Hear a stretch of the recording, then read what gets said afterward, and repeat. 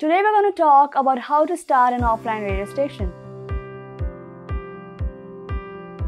Welcome to another episode of Global Banking Finance Review.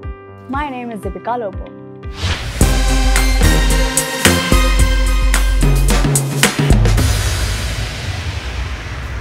Contrary to popular belief, starting a radio station isn't a domain meant only for professionals.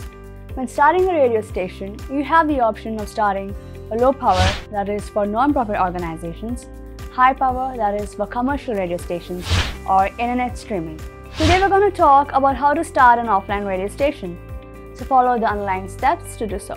First, apply for a frequency which may take a long time in getting assigned itself. Apply for a license because operating an unlicensed radio station is illegal even if it is done at a meager power.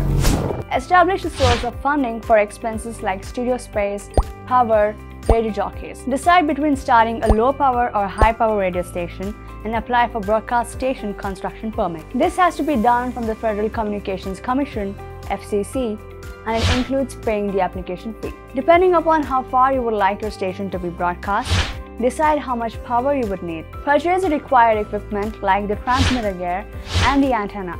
If needed, rent space on a tower for the antenna. Build up the studio including the soundproofing, speakers, headphones, microphones, and so on.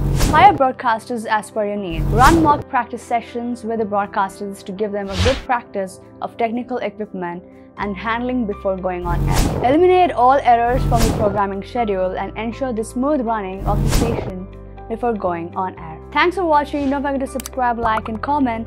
And one lucky winner will win a one-year free subscription of Global Banking and Finance Review.